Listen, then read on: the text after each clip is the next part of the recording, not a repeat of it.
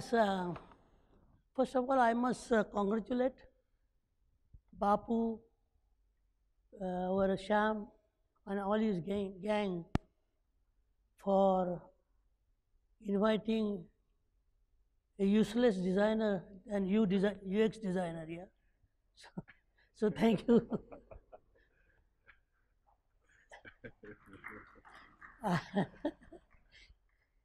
he asked me to give keynote address, but my key has become so uh, old now, yeah. No, nobody listens to me.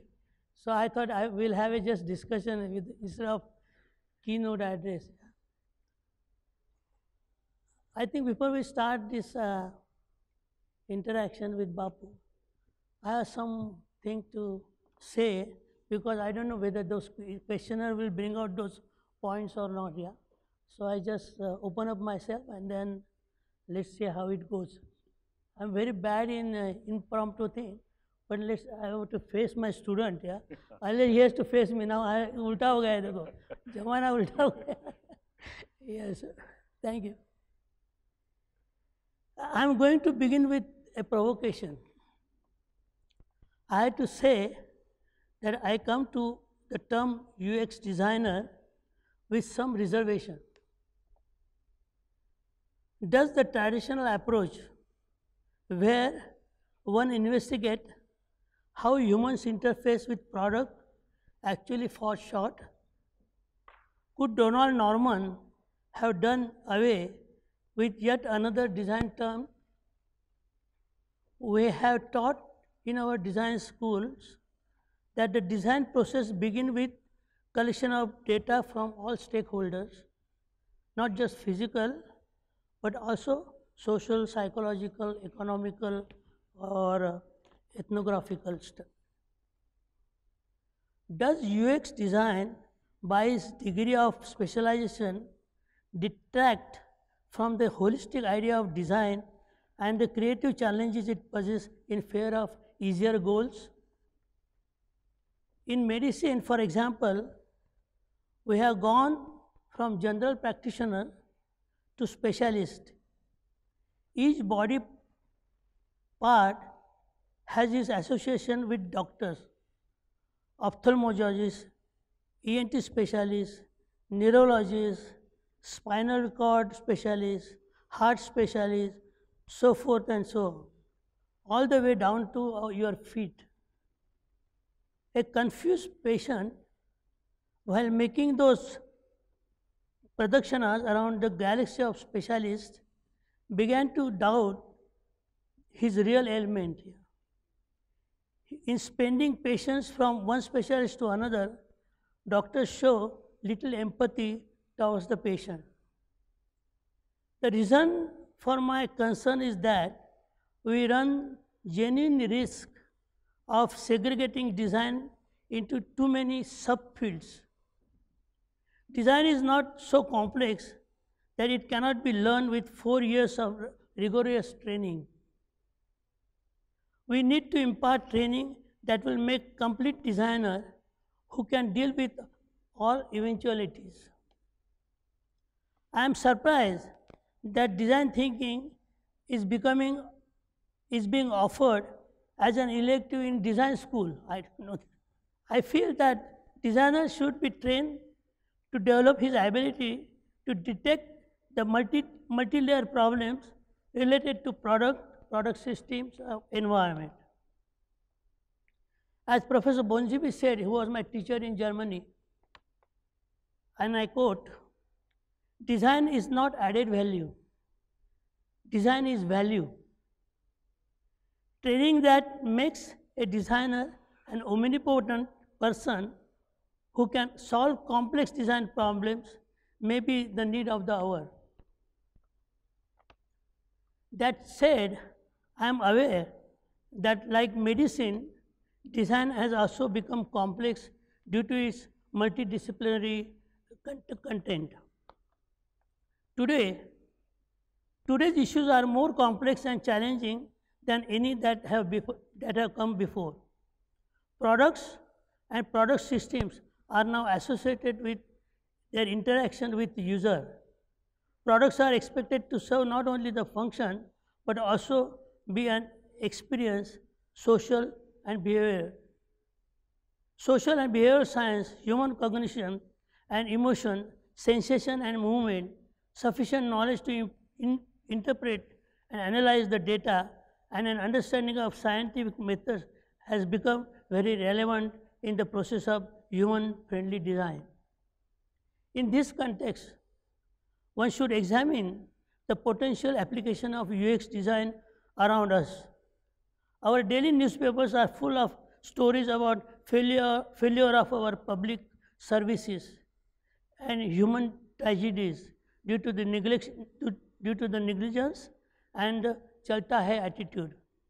Public officials tend to be seasoned practitioners on methodologies more commonly associated with optimizing the existing services, but are less familiar with the methods and tools associated for innovation such as design thinking.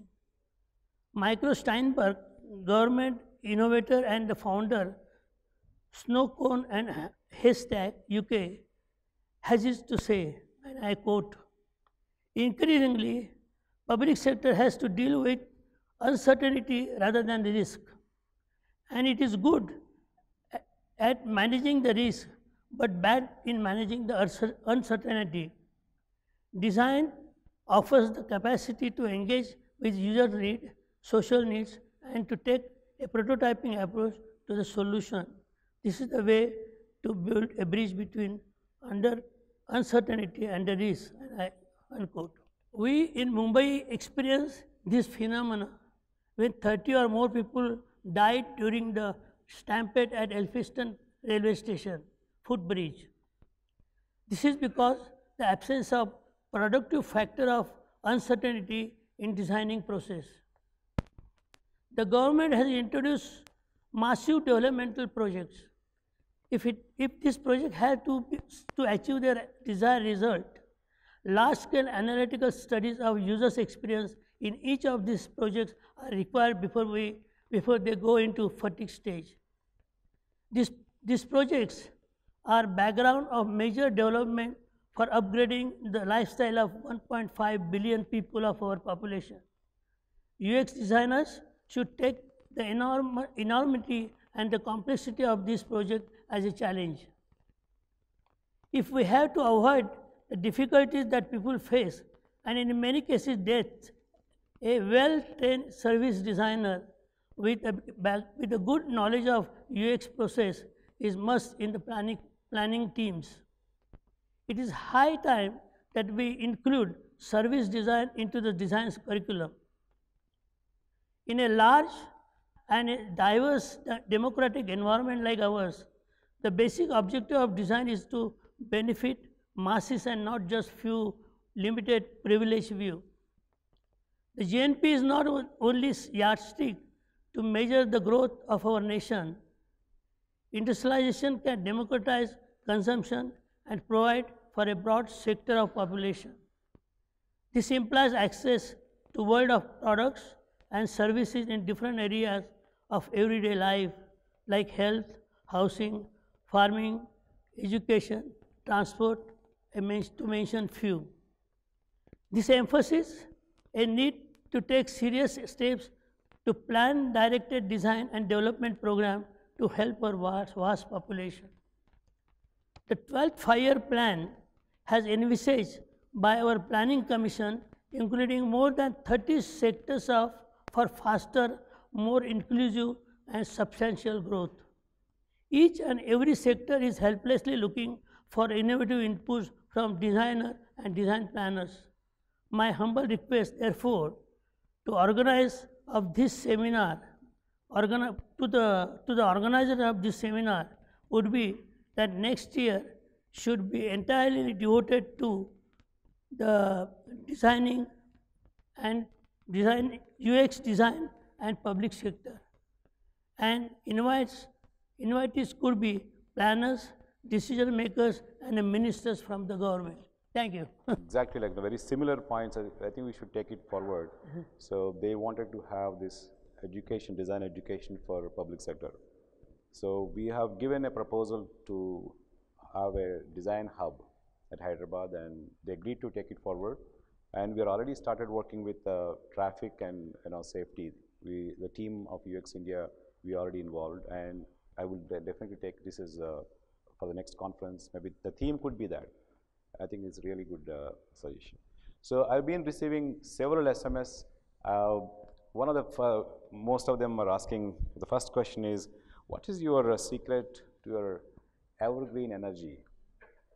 Oh, I don't know. I avoided seeing my face in the mirror. So,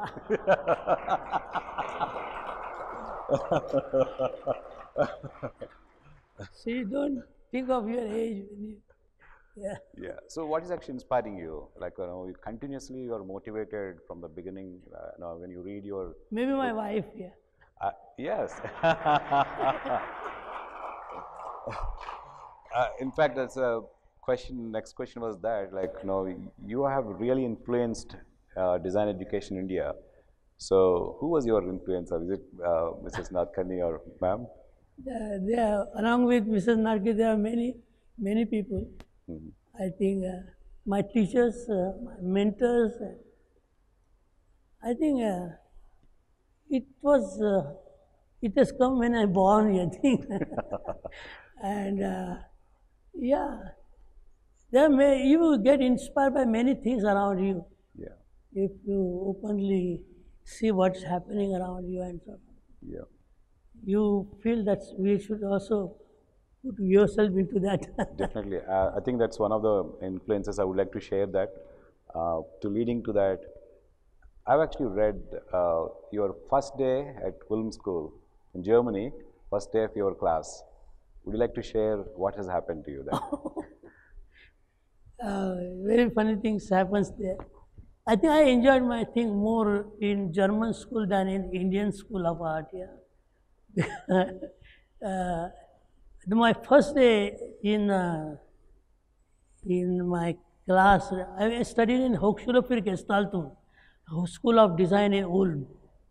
I think you all must be heard about that school. It's a very famous school in design, where uh, Max Bill and all those big people. It was a continuation of the Bauhaus. And uh, my first day was I. It was in November. You can understand, yeah. November, snowing outside, and I was with my nylon shirt. Somebody told me you buy your uh, all your uh, dresses there in Germany because you get the, the fashion or topmost fashion fashion there, up to date your with the fashion there. Yeah. So I thought I will go to Germany and I will have all my winter coats and everything there. But I was not knowing that there was a minus 20 centigrade there. Yeah. So when we I entered with that thing in the class, I was surprised. Everybody was silent and looking at me. And uh, within few seconds, I was being flooded with the snowballs on my face here, all throughout the class, and class was made messy. Whole thing was. I was really surprised to, and that has really developed very good uh, a relation with my class classmates and sort of a very good bonding it, has created with this uh, first experience because I was first surprised. I was really afraid to go in. First of all, I was not knowing the German language because somebody told me it's better you learn your language there rather than here because I was already one month late. So, with that sort of thing, you know, it was quite a good experience. And then I become first thing they taught, uh, uh, taught me was two German letters. One is uh, uh, hungrig, ich bin hungrig, and ich bin thirsty.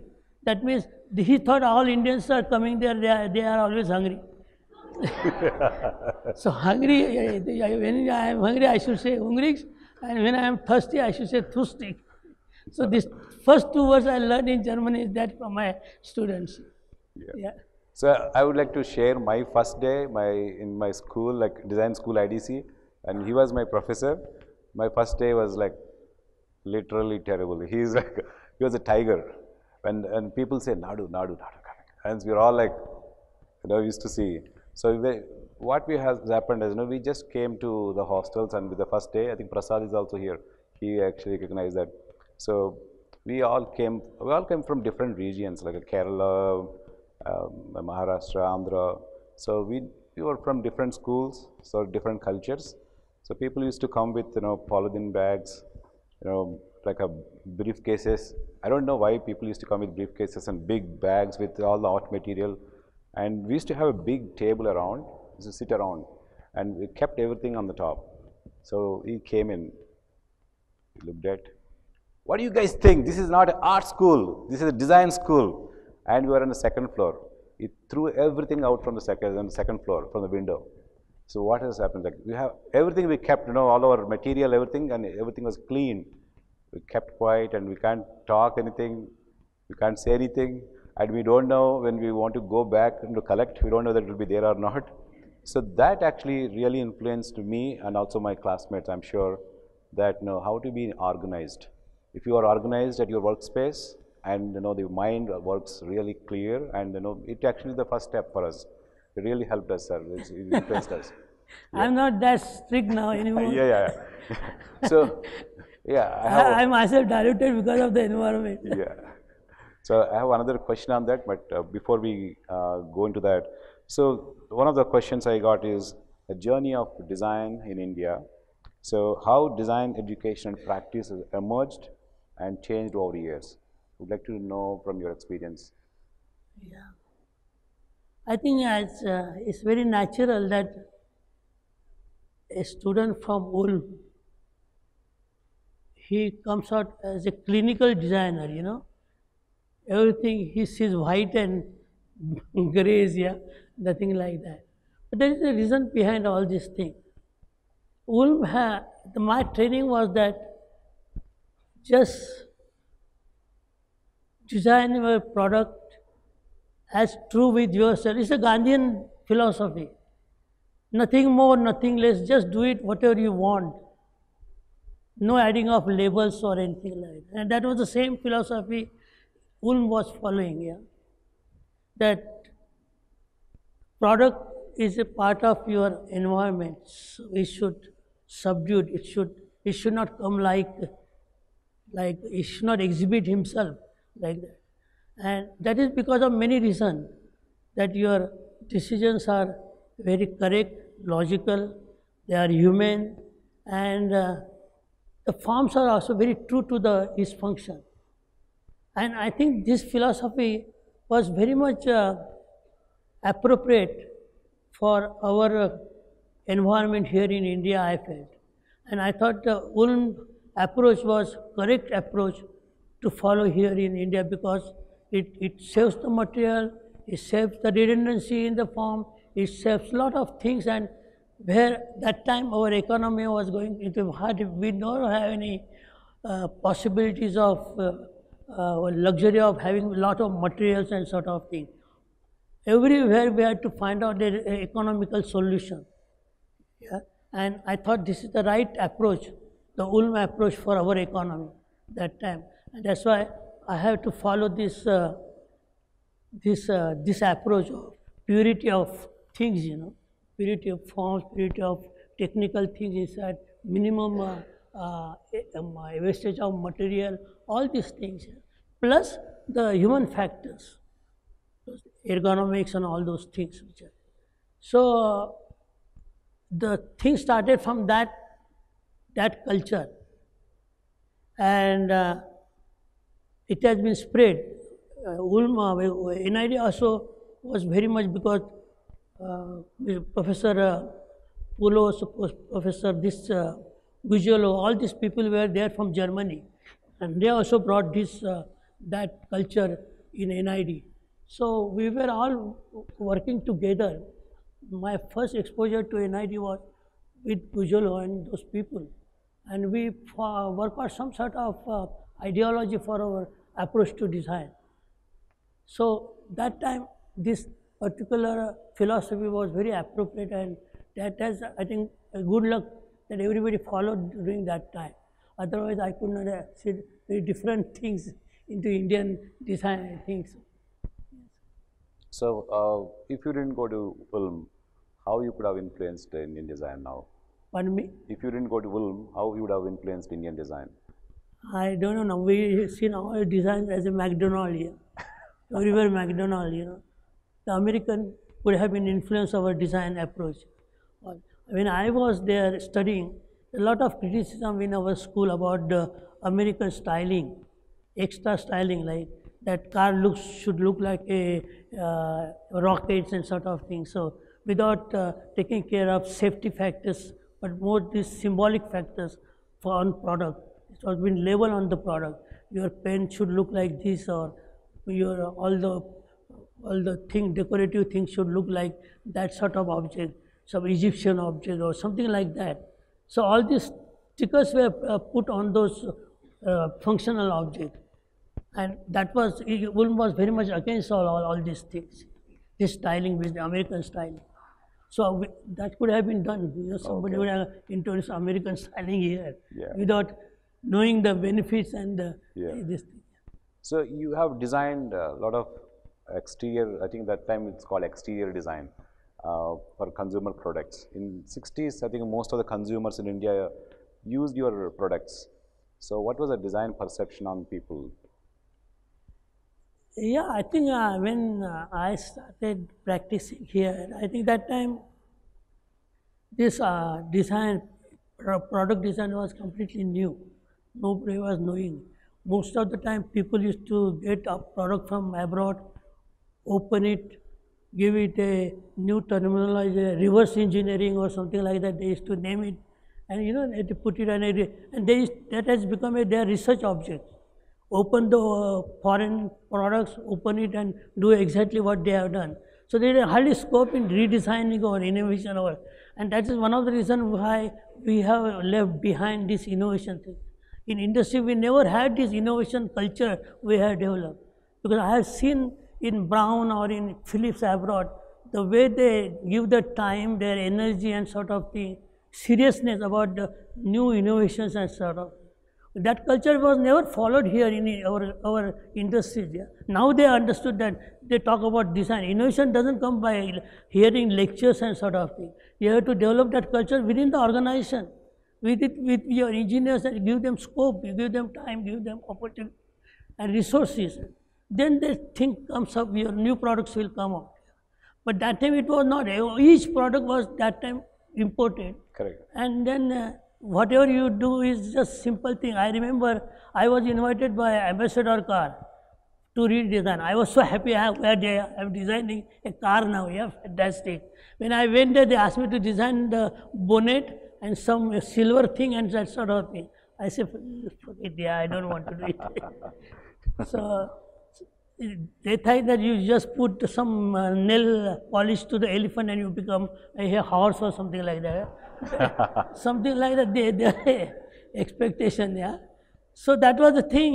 uh, They're, they're thinking about design, that design means just a decoration to make the object very beautiful and sort of thing, yeah. So the, the things were different.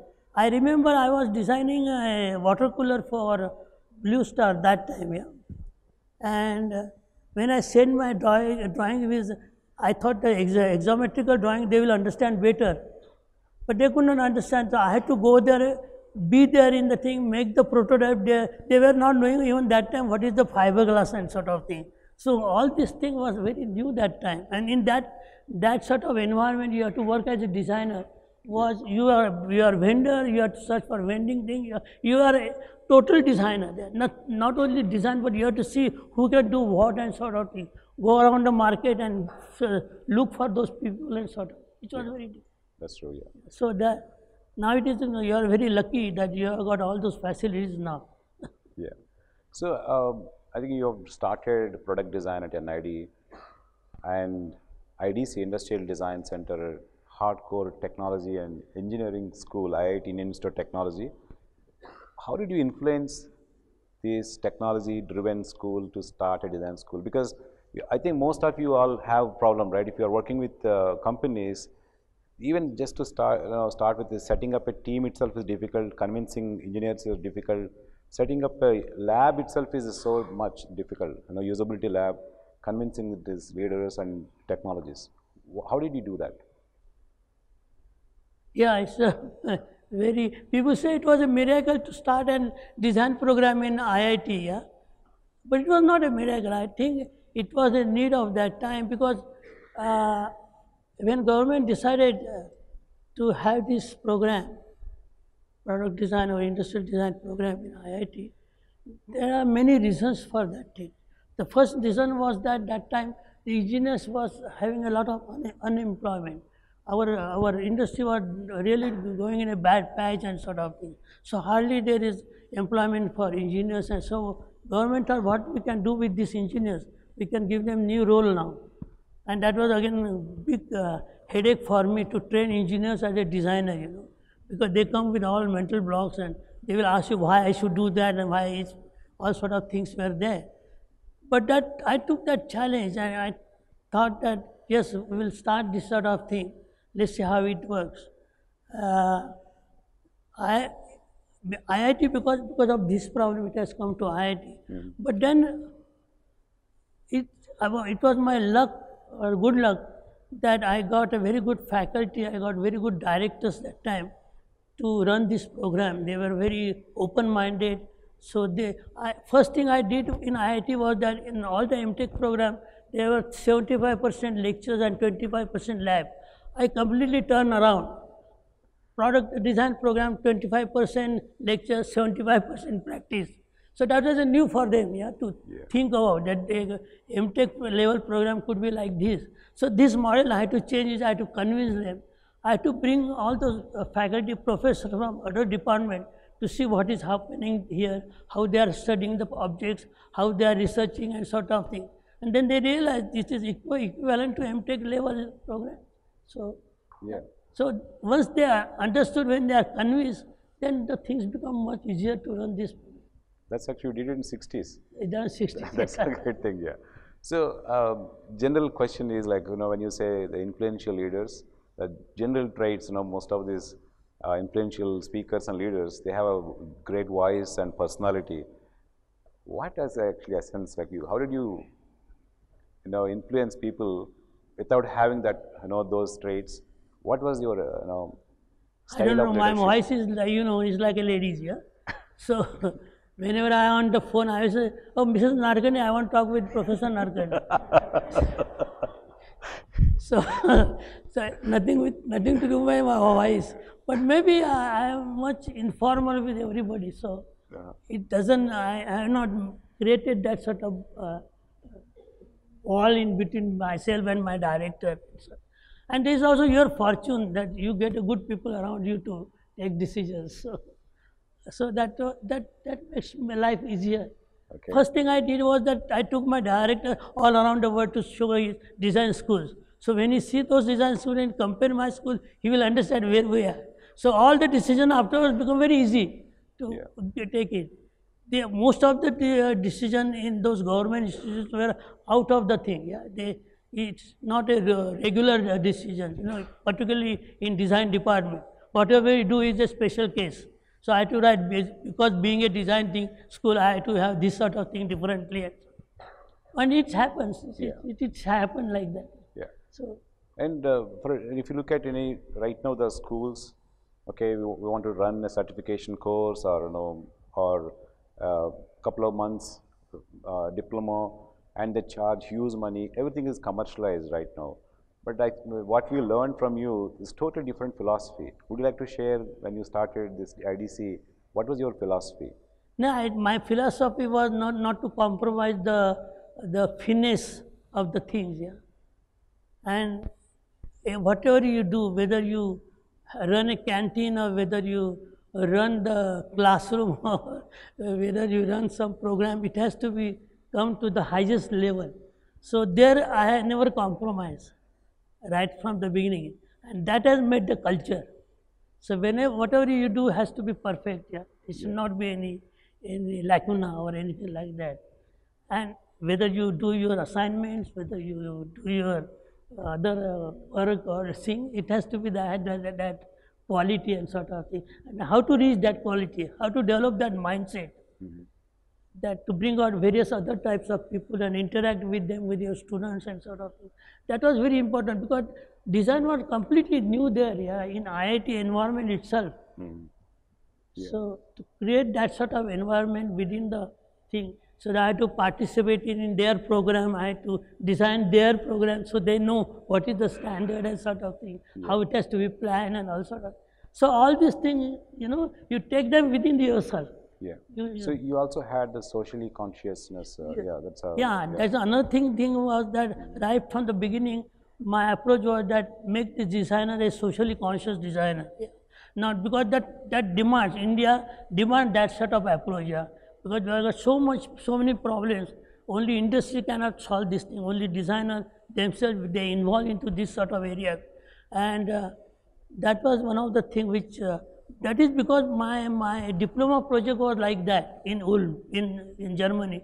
I, I wrote a thesis on how a design could help in uh, developmental plans in, in a country like India. And I have taken each of these section and I saw the relations of design to their, their development and sort of. So that was the background behind my this thing to start this school and the program. So actually, one uh, very important thing when you started school in uh, Guwahati, IIT Guwahati, so you introduced bamboo. So people thought, what is it bamboo? Right now we are talking about VR, AR, and bamboo and all. Why bamboo? But actually changed the economy in that state. So would you like to share what was the reason you actually? How did you uh, choose? Yeah, I think uh, whenever you start any design program, I anywhere, you have to find out the uniqueness of the thing. Yeah, you cannot start the same program in Bombay. Whatever I did, I can, I should do it in Guwahati. Their problems are different. Their environments are. Their economy is different. And how you try to support that that setup. Yeah. And uh, you know, Assam is very much rich in bamboo and cane and sort of thing, but it is not used for in proper sense. They were using it for making this basketry and that sort of thing, which is not so monetary beneficial. It can keep those uh, weavers very substantial sort of income and sort of. So I had to find out the ways. So I thought that why can't we use utilitarian product in bamboo and cane and sort of thing. So I uh, completely developed a whole system of uh, uh, hospital furniture in, in bamboo and cane, school furniture in bamboo, so that this can go into various sectors and sort of thing. And these weavers or those uh, craftsmen can earn some more money and sort of. But for that, I had to develop that sort of culture within IIT to develop a craft, craftsman and those sort of thing within IIT was again a most difficult job. The first craftsman I employed in IIT Guwahati was this uh, level on the other technical uh, staff.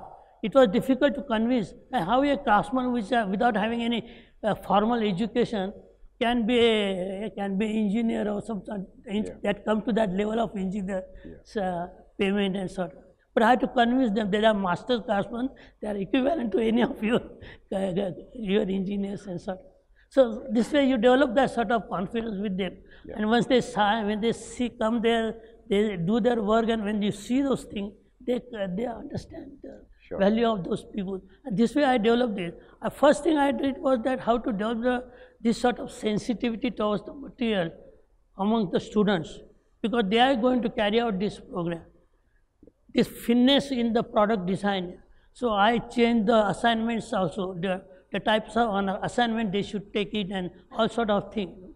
Whole, thi- whole, whole uh, uh, academic uh, format was changed in IIT Guwahati Yeah. just to be, be, be, be relevant to their environment and the needs and so on. So actually, uh, there are so many uh, text messages are coming, so time is less. So I would like to take quick uh, questions from them. So um, the times are changing. For example, we started with product design. We called it uh, visual communication. Then animation also came in in the middle, and then slowly interaction design, UX, and now we are service design. Things are cha- keep changing. So to be relevant in this uh, keep you know time changes. So what are the important things for a designer he never should uh, leave that his sight of? What are the qualities, very important qualities to you have? I do not know, but uh, my my I, what I feel is that the grammar of design is same. you can uh, whether you can use it for film, whether you can use it for products, whether you use it for writing a story or whatever it is. That if you follow that grammar, those ethics, qualities of design and sort of thing, I think uh, all these thing changes will come. But this is again for use of humanity, and that aspect you understand how to see those things as you say, UX design and all those AI design and all those things. Yeah. I think uh, uh, one should not bother about it. It's going to change because of the technology, because of the environment. All these things are changing every day. Of course, one thing is changing is our hunger, and I think till that time is, uh, is still in, in contact. We don't have to take artificial thing food. Yeah. so I think things will go on. So the things are you know very um, in a rapid way changing. Like today we are talking about AR, uh, VR, artificial intelligence, machine learning. So how do we uh, be relevant in this? Because when we were taught like we were only purely uh, technology no, design, now the technology is also overpowering. So the next generation designer, do you think we need to have that combination of these, or what is your opinion on that? I think one, one has to see this whole development very sensitively because particularly in India, when we are really looking for a massive job sort of thing, whether it is automation or this, uh, you know, artificial intelligence will, will, uh, will, uh, will uh, economize the employment aspect and sort of thing and how, how we can depend on that. So we have to very selective where we should use this technology. When there are risky job or very dangerous thing or unhealthy job, we can use this automotive uh, robotics sort of things, products. But where we need extra jobs and sort of thing, we have to be very careful. I think we should not leave it to those, those Sure. So we should keep that intact. Slowly it will integrate with them yeah, Yeah. instead of sudden jumps. Sure. It will be very, yeah, I think people will revolutionize, yeah. Yeah. I mean, revolt against you Yeah. if you, So if they don't have the jobs. And even now I see, you know, design is still we are saying emerging profession. But in 60s, like, how did you choose design as your profession? uh, maybe I don't know how I choose, but uh, it happens like that, that I, by, by accident, I went to attend some one lecture in Bombay. The lecture was attended by uh, Indian Chamber of Commerce, and they have invited one designer from Brit- And I happened to attend, and when he talked about design, industrial design, and sort of thing. So I thought, why can't we change? I was working as a art director in advertising firm there at that time. I just finished my art school education. And I thought, why, yes, I got still time to take it. so I, I, one of my colleague, Mr. My mentor, in fact, Yashwant Chaudhary, who just came from Switzerland that time, he had his EC program and he was working with Ciba. I said, yes, if you want to go, you can join this school there in Ulm. Okay. Nobody was knowing about industrial design that time. I have had a very hard time to convince my parents to know what is the industrial design. I, because that time no, no products were there, no mixers and no all these things were there. So I had to explain them what is the industrial design. So nearest thing was that I told him I had to design this bathroom uh, furniture, toilets and hand machines and sort of thing. Then he said, why, why you have to go to Germany for that? I know very good plumbers here, he will tell you about. so, this was the stage. Uh, So I said, I will just take a chance and I want to go there because my friend, friend said that I had feeling about three-dimensional things because that time I did number of exhibitions uh, for industries. That's all. So he thought I should go there. So I went there for a one year. So I'll get experience, then I'll come back. Once once I go there, I thought it one year is not enough. Then I got some scholarship and sort of thing. I said I will finish my four years there, complete my diploma, and then this is what is to happen. You know, your destiny was different. Yeah. So I, think it looks like I have received more than 200 text messages, and uh, we have uh, other talks are lined up. So I want to, I'm, going to ask uh, the last question. So, what is a, uh, what kind of uh, direction and advice you would like to give to young designers? I think they should alert about what is happening all around them. They should also expose themselves to multi-level technological information. They should get more knowledge now. It's becoming product design is become is a knowledge product product and so on. So instead just looking for the formal or aesthetical aspect of design, aesthetic comes at the end, end result of all those things, you know. So you should expose yourself to various areas of uh, interdisciplinary subjects and sort of put more time on that because next generation products will be completely different as you've seen no that uh, what is that smart smart products i think uh, for that we should become also smart to design a smart product. Sure. so i think there's a lot of scope challenges are there and i think we should work So, yeah. i wish i should have been 20 years younger today i could have yes thank you So, and, uh, thank you so much for accepting our invitation, and, and you, you were here for the last four days. You've been observing. Yeah, I wanted to know this. What is the UX Yeah. UX? So- Everybody is talking about UX. I thought first I came to know what is the full form of UX. Yeah. yeah.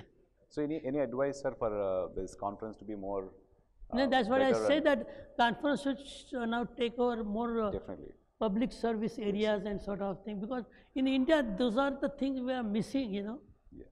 we have to do so to do lo- because see a lot of people are dying for just for our carelessness, our lethargy and sort of thing. Yeah? How you develop this uh, against this lethargy among those bureaucrats who takes the decision, who doesn't know, who are not interested to develop and innovate or anything. Yeah. So I think it's our maybe we should take that role. Definitely. Just interact with them. I think If you do that thing, nothing like it. Sure, sir. We'll definitely take your, take your advice. I know he had drawn it when he was student. They used to do only that thing instead of studies. Yeah. So it's drawn by me. Thank you. Thank you.